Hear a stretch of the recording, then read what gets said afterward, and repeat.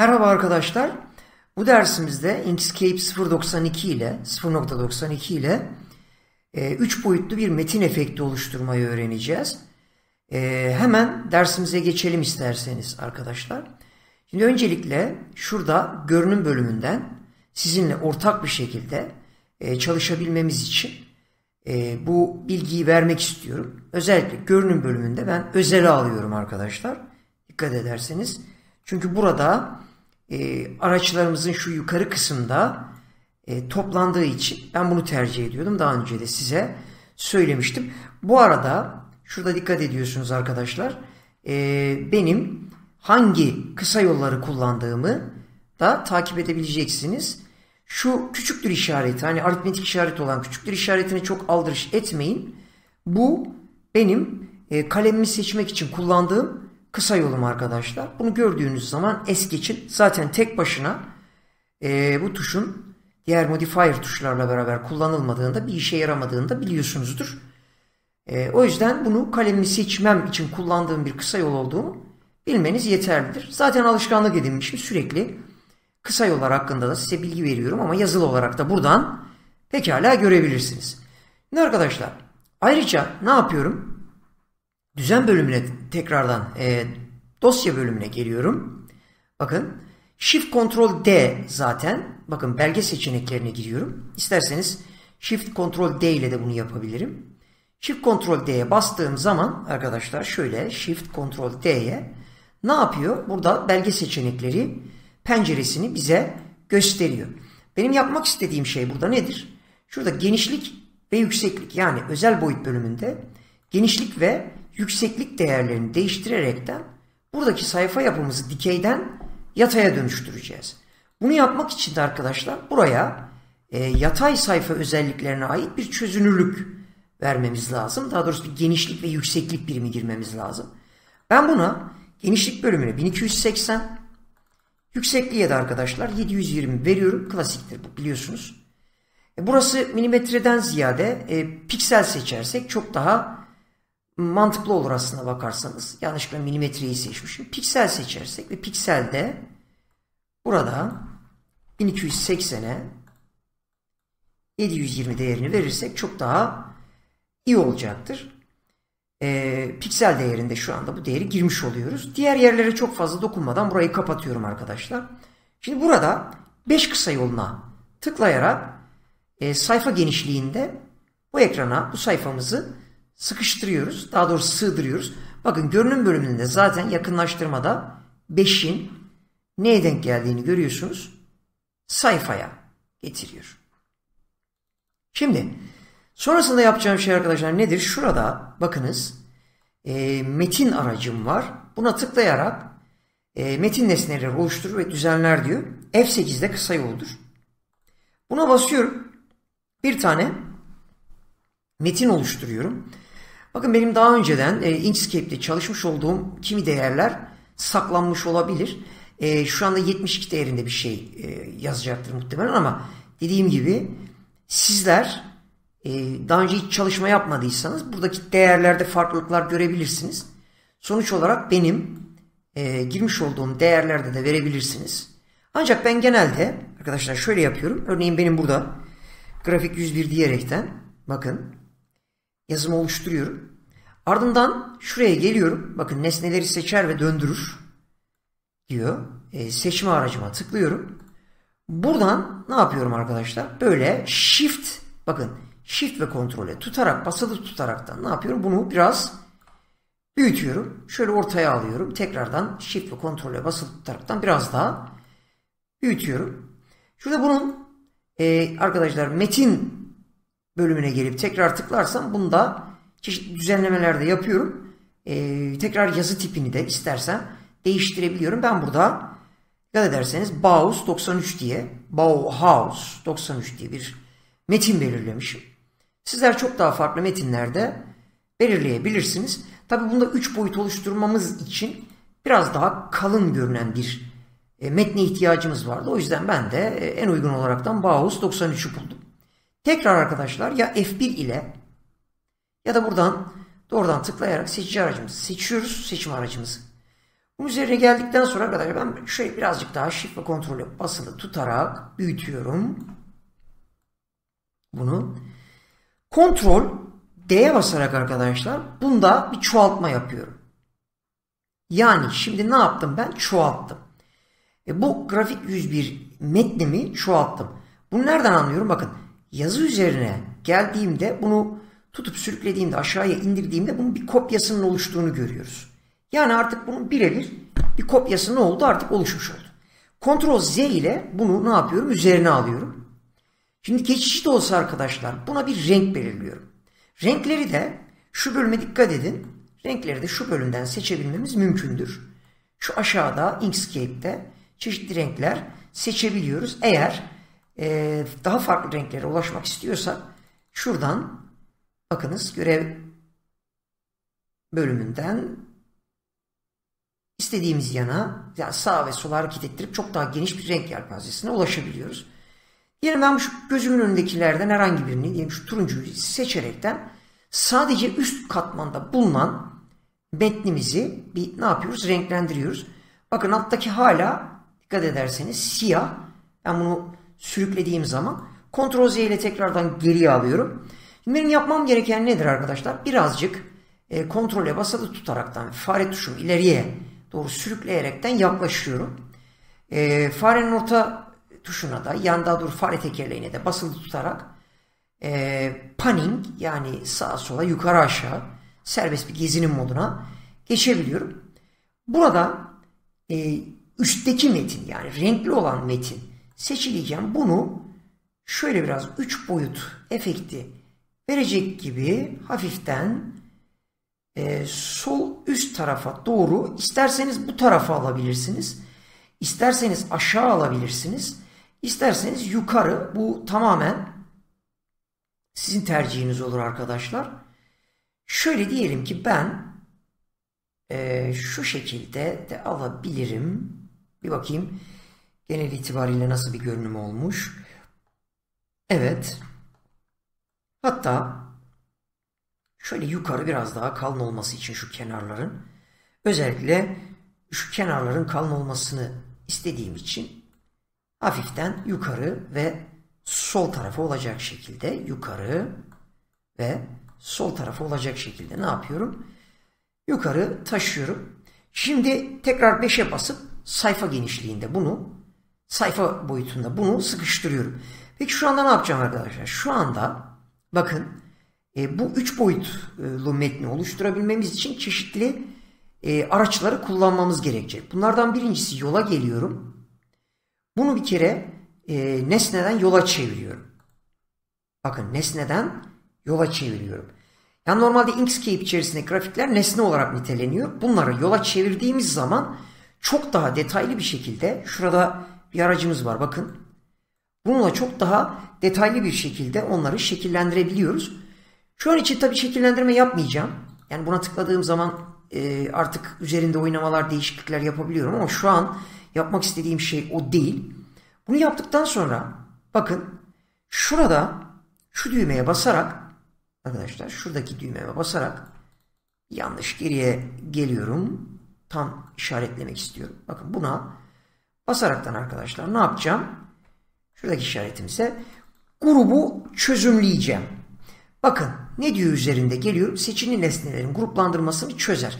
Şimdi zaten bu otomatik olarak bu nesnemiz e, gruplandırılmış bir nesne olarak tanımlanmıştır Inkscape içerisinde. Ben ne yapıyorum? Bunun şimdi gruplandırmasını çözüyorum. Tıklıyorum.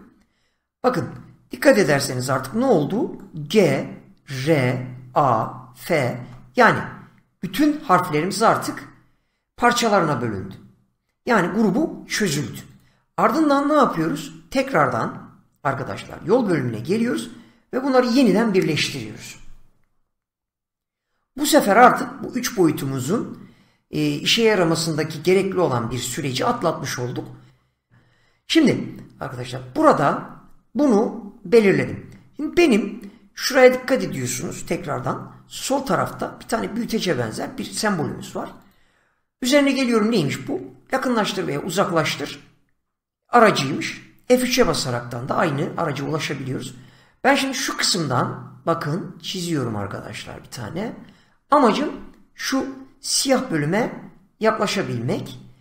Ee, bakayım şöyle farklı bir yerden de olabilir. Benim amacım şimdi arkadaşlar şu arkadaki siyah yeri seçmek. O yüzden yaklaştım. Yani e, şöyle bir bakalım. Bir saniye yanlışlıkla yazdım. Şurayı seçebilmek. Burayı da seçtikten sonra aynı işlemi bunun içinde yapacağım. Tekrar 5 ile sayfayı sığdırıyorum. Yola geliyorum. Nesneden yola diyorum. Tekrar ne yapıyorum? Gruplandırmasını çözüyorum. Ardından tekrardan yola geliyorum. Yoldan birleşim diyorum. Şimdi bunu yaptıktan sonra arkadaşlar dikkat ederseniz ee, alt kısmında artık aynı süreçten geçtiğini görüyoruz. Peki şimdiki sürecimiz nedir arkadaşlar? Şimdiki sürecimiz bu iki katmanı da daha doğrusu metni de beraberce seçmek. Bunların ikisini de seçiyorum arkadaşlar. Ne yapıyorum buradan? Eklentiler bölümüne geliyorum. Eklentiler bölümünden yoldan oluştur diyerekten interpolate e, aracını açıyorum. Şimdi interpolate ne yapıyor arkadaşlar? Burada bakın exponent bölümüne hiç değer vermemize gerek yok. Interpolation metodu 1 diyoruz. Şuradaki interpolation steps arkadaşlar şuradaki bölümümüz bakınız bu e, şu bölümde dikkat edin şu bölümde yani şu siyah bölümde e, araya ne kadar e, metin gireceğini gösteriyor. Yani bir şekilde şöyle düşünün bunun arasına 30 tane şu siyah bölüme 30 tane katman katman tekst e, sıkıştırıyor. Metin sıkıştırıyor. Tabi birazcık bu Inkscape ağırlaştırıyor ama 3 boyut yapabilmek için Inkscape'de bunu göze almak durumundayız. Yani şu siyah bölge içerisine e, 30 adet resmi e, resim diyorum özür diliyorum metni ne yapıyor? Sıkıştırıyor. Şimdi uygula diyorum arkadaşlar. Uygula dedikten sonra kapatıyorum. Ve burada bu üzerine tıklayarak bu siyah yeni oluşan metnimizi bunu aşağıya taşıyorum. Aşağıya bir yere taşıyorum. Ardından ne yapıyorum arkadaşlar? Bunun üzerinde bir sağ tıklama yapıyorum. Enter Group diyorum. Bakın. Yani grubu giriş yap. Muhtemelen bunu bir şekilde ne yapıyor? Kendi içerisinde e, gruplandırıyor. E, üst metni ve arkadaki e, 30 adet e, metin kopyasını tutaraktan. Arkadaşlar bu seçiliyken şurada dikkat ediyoruz. Bir tane ne seçiyorum? Ben renk seçiyorum. Ee, arka plandaki yerinin şuraya biraz yaklaşacağım. Kontrole basılı tutaraktan. Arka plandaki yerinin e, ne olduğunu görüyoruz. Siyah renkte olduğunu görüyoruz. Burasının turuncu renkte olduğunu görüyoruz. İstersek tabi turuncuyla e, saplanıp kalmayalım. Herhangi farklı bir renkle verebiliriz. Diyelim şöyle açık mavi tonlarda bir renk belirleyelim. Şimdi bana arkadaşlar ne lazım? Aslında bu kutucuğumuzu baştan da açabilirdik. Şurada bana arkadaşlar şurada çizme ve doldurma kutumuz var. Bakın buna tıklıyorum. Doldur ve çiz bölümü geliyor. Buradan istersek arkadaşlar renklerimizi bakın bu bölümün renklerini buradan da değişebiliyoruz. Yani ben aşağıdan biraz önce değiştim. Şuradaki e, yerleri kullanarak bakın şu alttaki renk paletlerini kullanarak ama buradan da değişiklik yapabilmemiz mümkündür. Şu an için diyelim ki arkadaşlar bunda kalsın hatta rengini biraz daha açabiliriz diyelim. E, şurada kenarlık rengine gelelim. Bakın kenarlık rengine geldikten sonra artık burada buna da bir kenarlık rengi belirleyebiliyoruz şuradan. Ne diyor? Düz renk. Düz renk veriyoruz. Bakın artık arkadaşlar kenarlık rengi verdiğim zaman e, siyah renginde bir kenarlığı olmuş oldu bunun ama kenarlığın biraz kalın olduğunu görüyoruz. Burada kenarlığın kalın olmaması için e, çizgi stili bölümüne, bölümüne geldiğimde bunu düzelteceğim. Bunu özellikle bir renk değişikliği yapayım. Şöyle şuradan tıklayarak herhangi bir yere daha farklı bir e, renk belirleyeyim. Örneğin şu renk olabilir. Çizgi stili bölümüne de gelip bunun arkadaşlar ne yapıyorum? Şöyle tıklayarak e, çizgi kalınlığını azaltıyorum. Bakınız şurada çizgi kalınlığı bölümümüze arkadaşlar bu biraz daha şuradaki değeri düşürünce ne yaptı? Azaldı. Arkadaşlar burada e, yapmamız gereken şey öncelikle buydu. Peki ikinci aşamamız nedir? İkinci aşamamıza hemen bakalım. Bu e, üzerindeki yani metnin ilk e, başta duran kısmı seçiliyken düzene geliyoruz. Buradan artık seçimi tersine çevir diyerekten bunun arka planını seçiyoruz. Yani bu sefer biraz yaklaşıyorum. Şu siyah kısmı seçmiş oluyoruz. Aynı işlemleri bunun içinde bu e, dolgu bölümünden yapabiliriz. Buraya da örneğin arkadaşlar bir renk veriyoruz. Bakın istediğimiz rengi burada da belirleyebilmemiz mümkündür. Bakınız istediğimiz rengi vermemiz mümkündür. İster işte pembe, kahverengi, kırmızı. Tabi burada biraz yavaşlıklar oluşabilir arkadaşlar. Bu yavaşlıkların sebebi dediğim gibi burada e, 30 tane e, metinni sıkıştırmış olması bu araya. Ondan birazcık ağırlaşabilir, doğaldır. Bu da renk belirlerken bu dikkatinizi çekecektir. Da tabii çeşitli yerler de var arkadaşlar. Bunları da kullanabilirsiniz renk belirlerken. Bu paletlerden çeşitli paletlerimiz var. Bir kenarlık rengine geliyorum burada da arkadaşlar. İstersek kenarlık rengi de açabiliriz. Tabii kenarlık rengini açınca bakın arka tarafta bir taşma oldu. Çünkü çizgi stilinde ne oluyor bu sefer? Bakın dikkat edin burası bayağı bir büyük e, değer verildiği için yani genişlik bölümüne yüksek bir değer verildiği için karşımıza bu şekilde çıkıyor. Şimdi arkadaşlar ne yapacağız? Bakın 3 e, boyutlu metnimizi oluşturduk. İsterseniz e, biraz daha buna böyle bir e, hava katabiliriz bu metnimize. Şöyle ki şurada dash diyor yani çizgiler bölümünde e, nokta noktaya aldığımda kenarlarına dikkat ediniz. Bakın nasıl bir efekt verdi. Kenar kısımlarında da böyle bir efekt verebiliyoruz. E, diğer aralıklı olanları seçebiliyoruz. Bakın şöyle geliyoruz görüyorsunuz. Ardından e, arkadaşlar şurada ikili olanları yani tekli olanları Teki seçtiğimizde sadece burasında oluyor. Rastgele diğer yerlerine yayılıyor. İstersek çizgi çizgi alabiliyoruz. Bakın. Buradan tabii çizginin kalınlığını da ayarlamak aşağıya yukarıya e, örtünüm konumunu bakın örüntü konumunu da ayarlayabiliyoruz. Yani yukarıya veya aşağıya taşıyabiliyoruz. Dikkat edin burada. E, istersek tekrardan diğer daha kısa çizgili olanları alabiliyoruz. Bakın göze hoş gelenler. Şurada kapak bölümünde e, yuvarlağı alabiliriz. Bakın şöyle biraz yaklaşıyorum. Şu kenar noktalarına dikkat etmenizi istiyorum. Bakınız. Şurada kareyi aldığımda bu köşelerde şöyle dikkat edin bir tam bir karelik söz konusuyken şu ortada şu bölümde şu ortada dikkat edin daha bir yuvarlak bir hale getirdiğini görüyorsunuz. Göze nasıl hoş geliyorsa artık ona göre yapabiliyoruz arkadaşlar tekrardan 5'e basıp sayfa e, genişliğinde ne yapıyorum? Sığdırıyorum ekranımızı. İsterseniz tekrardan arkadaşlar kenarlık rengine gelip çeşitli değişiklikleri de yapabilirsiniz. Bakın dikkat edin. Farklı farklı değişiklikler bulunabilirsiniz. Bu size kalmış. Zaten bunu arkadaşlar artık silebiliriz. Tamamıyla bakın seçip siliyoruz. Bunu da tamamıyla seçip şöyle yukarıya taşıyabiliyoruz. Tekrardan 5 ile sayfa boyutunda sıkıştırıyoruz. Ee, arka planda bir fonda ekleyebilirsiniz. Bu size kalmış. Bunu da kısaca göstereyim. Hemen bir şey seçiyorum diyelim şöyle arka planla. Tabi bunun ne olacak? Yüzeyinde bulunacak. Ben e, seçicime geliyorum ya da F1 ile seçicimi seçiyorum seçme aracını. Şuraya tıklayarak arkadaşlar bunu en alta gönderiyorum. Yani buradaki metin efektinin en altına gönderiyorum. Ama dikkat ederseniz arkadaki e, daha doğrusu buradaki metnimizin arka planına yerleşmiş oldu. İsterseniz rengi buradan değiştirebiliyoruz. İstediğimiz bir rengi verebiliyoruz. Burada arkadaşlar ben e, dört dörtlük bir e, çalışma yapmıyorum. Hani size tamamıyla fikir vermesi amaçlı yapıyorum. Önce araçlarımızı e, öğrenelim. Ardından çok daha sanatlı, güzel çalışmalara tabii ki imza atabiliriz. Bakın dilediğimiz rengi seçebiliriz. Yani şurada benim renk seçimlerimi berbat bulmuş olabilirsiniz. Gayet doğaldır.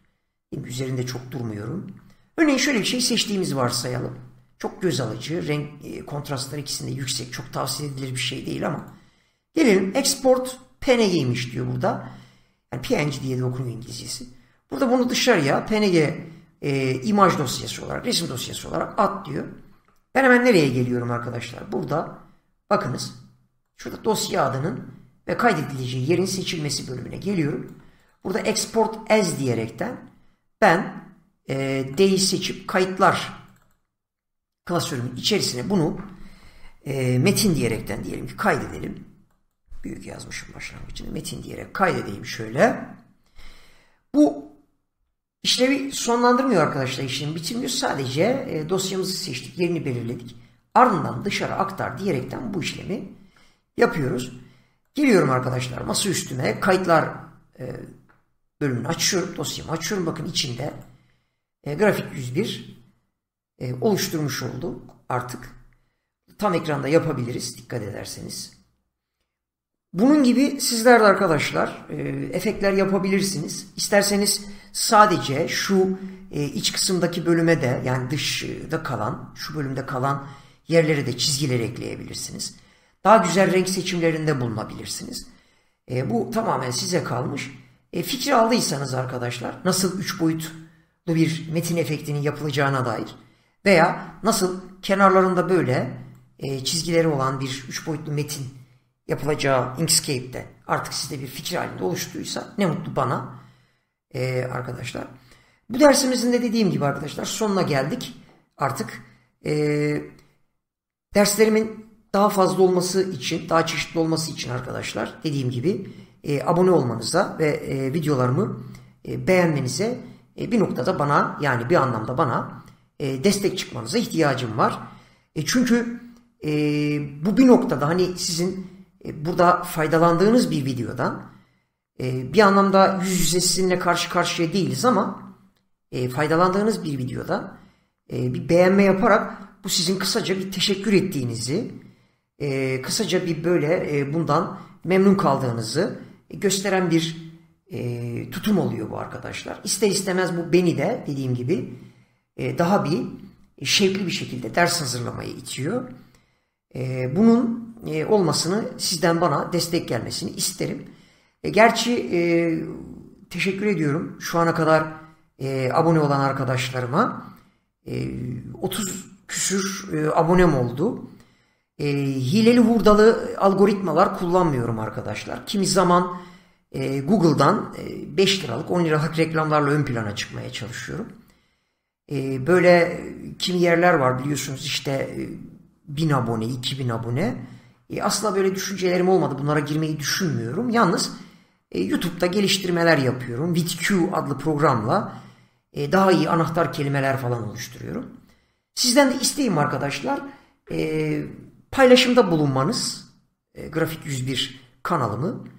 E, paylaşımda bulursanız genişler, yayılır. E, çok daha geniş bir kitleye ulaşır ve benim için de daha teşvik edici, ders hazırlamada daha teşvik edici bir durum alır. Durum haline gelir. Arkadaşlar e, dediğim gibi daha lafı uzatmak istemiyorum. Hep dersi sonlandırıp diyorum ama ondan sonrasında konuşuyorum. Biraz e, tuhaf bulabilirsiniz ama e, yavaş yavaş arkadaşlar dediğim gibi e, bu videoları anlata anlata artık ben de e, yabancılık çekmeyeceğim. Çok daha güzel, çok daha rahat bir şekilde karşınızda olacağım. Kendinize çok çok iyi bakın arkadaşlar. Görüşmek dileğiyle. Hoşça kalın, sağlıcakla kalın ve mutlu kalın.